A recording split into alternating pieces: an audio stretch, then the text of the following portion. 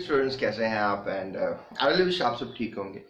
Uh, हाजिर है खुरम शुदा आपकी खिदमत में और आज के लेक्चर में हम आपसे बात करेंगे about macroscopic characters of forward and reverse reaction यानी कि जो फॉरवर्ड रिएक्शंस होते हैं और रिवर्स रिएक्शंस होते हैं उनकी क्या खसूसियात हैं? उनके क्या करेक्टर्स हैं? ये आज के वीडियो uh, ट्यूटोरियल का जो है मौजूद बहस रहेगा। लिहाजा uh, चलते हैं फ़र्स्ट करेक्टर की तरफ़।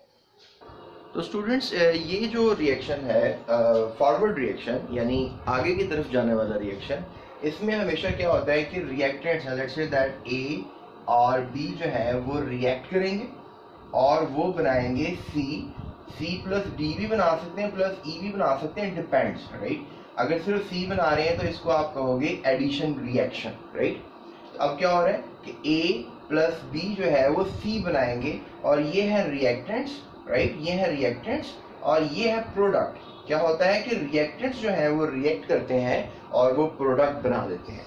जैसे पिछली एग्जांपल्स में मैंने आपको सिखाया कि हाइड्रोजन गैस और आयोडीन मॉलिक्यूल आपस में रिएक्ट करते हैं राइट और they just make hydrogen iodide two moles और फिर ये कह लें कि इस इस रिएक्शन को हम कहेंगे फॉरवर्ड रिएक्शन अब इसमें रिएक्टेंट्स रिएक्ट किए और प्रोडक्ट बनी. लेकिन अब समटाइम्स ऐसा भी होता है कि ये एक रिवर्स रिएक्शन है, मैंने आपको सिखाया। तो इसमें जो हाइड्रोजन आयोडाइड है, वो दोबारा डीकम्पोज होगा। वो टूटेगा। यानी ए जो है, वो टूटेगा दोबारा किसमें? हाइड्रोजन गैस मॉलिक्यूल में और आयोडीन मॉलिक्यूल में।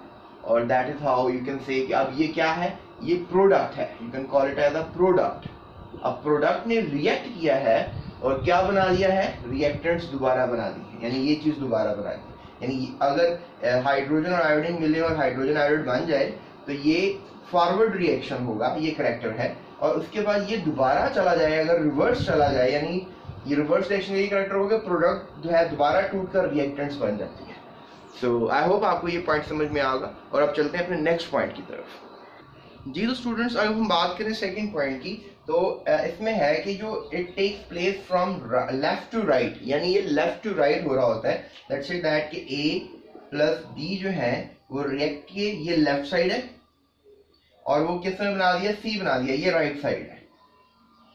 और अगर आप उस तरफ़ देखें रिवर्स रिएक्शन के लिए तो रिवर्स रिएक्शन के लिए क्या होता है कि it takes place from right to left यानी ये राइट right साइड है, और ये दोबारा रिएक्टेंट्स बनेंगे तो आप कह लेंगे राइट टू लेफ़्ट जो है ये प्रोसीड करेगा। तो ये क्वालिटीज होती हैं फॉरवर्ड की और रिवर्स रिएक्शन की, कि ये हमेशा जो एक फॉरवर्ड रिएक्शन होता है वो लेफ़्ट से राइट जाता है और जो एक रिवर्स रिएक्शन होता है वो हमेशा राइट से लेफ़्ट आता है। सो आई होप आपको ये लेफ़्ट राइट की गेम समझ में होगी। वैसे तो दुनिया में बहुत से लोग लेफ़्ट राइट करते हैं। तो आप सिर्फ़ इस लेफ़्ट राइट को समझें, बाकी लेफ़्ट राइट जो है नहीं करना चाहिए। Okay so let's move toward the third point जी तो स्टूडेंट्स अगर हम बात करें थर्ड पॉइंट की तो थर्ड पॉइंट में जो है वो बताया जा रहा है कि शुरू में initial stage the forward reaction is very fast क्योंकि मैं आपको बताऊँ let's say that you are eating some kebabs and you are eating some naan तो एट इनिशियल स्टेट कबाब और नान बहुत ज़्यादा होते हैं और आप बड़ी जल्दी जल्दी खा रहे होते हो, ठीक है? और खाने के बाद definitely they go inside your stomach और स्टमक uh, में जाने के बाद आई डोंट थिंक सो वो दोबारा नान और कबाब बन सकते हैं मतलब when they come out in the form of vomit बड़ी अगली सी एग्जांपल है वैसे ये। तो वो दोबारा तो नान और कबाब जो है वो बन नहीं सकते। एक दफ़ा खा लिए चाइम बन गया एक मेटाबोलाइट्स बन गए तो you cannot reverse that reaction यानी कबाब का खाया जाना एक इरिवर्सिबल रिएक्शन है। लेट्स थिंक इट कि ये रिवर्सिबल है। तो फिर क्या होगा कि शुरू शुरू में तो आप नान कबाब खा रहे हो you are eating with a very fast speed अब आपके पेट में तो शुरू में कुछ नहीं है ना? यानी फॉरवर्ड रिएक्शन जो शुरू में हो रहा है रिएक्टेंट्स प्रोडक्ट्स में कन्वर्ट हो रहे हैं, वो तो बड़ा फास्ट होगा। लेकिन चूँकि पेट में अभी नान कबाब बिल्कुल है नहीं तो वो दोबारा कम बैक हो नहीं सकते because there is no speed at the beginning शुरू में। लिहाजा आप कह सकते हो कि शुरू में जो फॉरवर्ड रिएक्शन है, वो थम्स अप वेरी फास्ट होता है। लेकिन जो शुरू में जो रिवर्स रिएक्शन है, यानी जैसे मैंने आपको समझाया था कि शुरू में ए प्लस बी तो बहुत तेज़ी से कन्वर्ट होंगे सी में। लेकिन सी की मिकदार अभी बन रही है नेग्लिजिबल होगी, इसलिए उसका वापस जाना जो है वो शुरू शुरू में इम्पॉसिबल होगा, यानी नेग्लिजिबल होगा। अगर वो जा भी रहा है, वापस ए और बी बन भी रहा है तो बहुत कम बन रहा होगा। लिहाजा इस चीज़ को आपने थोड़ा दिमाग में रखना है कि शुरू शुरू में ये तो बहुत फास्ट होगा और ये तो बिल्कुल ही इतना कम होगा कि आप उसको कह सकते हो, ये नेग्लिजिबल है right so that's the third point the first point was and second point was there and now third point मैंने आपको एक्सप्लेन किया so let's move towards the last point right जी तो स्टूडेंट्स अब चलते हैं अपने लास्ट पॉइंट की तरफ़। इसमें लिखा हुआ है कि इट फ्लोज डाउन ग्रेजुअली याद रखें शुरू शुरू में नान कबाब आप खा रहे हैं तो वो आहिस्ता आहिस्ता ख़त्म होना शुरू हो जाएँगे, और आपका जो खाने का प्रोसेस वो स्लो होता चला जाएगा।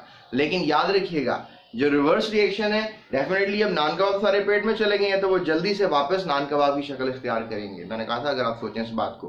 तो लिहाजा, यहाँ पर हम ये बात करेंगे कि जो रिवर्स रिएक्शन होता है, वो बाद में जल्दी से, तेज़ी से बढ़ता है। लेट्स से दैट कि हमारे पास अगर ए और बी जो है, वो शुरू शुरू में बहुत ज़्यादा थे तो क्या बन रही है? सी बन रहे हैं। लेकिन शुरू शुरू में जब बहुत ज़्यादा थे, आप खुद बात को सोचें अगर आपके पास लेट से दैट कि ये सिक्स पीसेस थे ए और बी और सिक्स पीसेस में से लेट से दैट कि फाइव पीसेस अब कन्वर्ट हो चुके हुए हैं, किसमें? सी में। यानी ए और बी जो है, अब वो सिर्फ़ एक रह गया है और सी जो है वो टोटल फोर हो गए हैं या फाइव हो गए हैं। तो अब फाइव जो है, यानी ये वैल्यू जो है वापस आएगी किसमें? रिएक्टेंट्स में। लिहाजा ये रिवर्स रिएक्शन में। यानी ये स्लोज डाउन हो जाएगा और ये स्पीड अप हो जाएगा।